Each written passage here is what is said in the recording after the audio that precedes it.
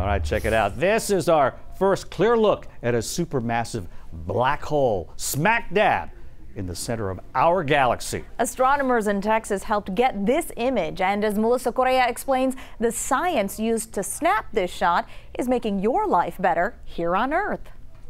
This is the world's first view of Sagittarius A star, the supermassive black hole in the heart of our Milky Way galaxy. The image, made possible through eight radio telescopes from all over the world, working as one Earth sized instrument. Texas astronomer Alex Tetarenko has worked at the telescope in Hawaii. I'm super proud. This is a lot of years. She's part of the Event Horizon Telescope Collaborative, astronomers who've worked decades to snap this shot. We're looking like right down to the event horizon of these black holes. So right where matter and light falls in and can never escape. It kind of seems so simple. It is just an image, but there's so much information in this image which has led researchers to create sound and video simulations of what is 27,000 light years away, a supermassive black hole, 4 million times bigger than the sun. We now have the first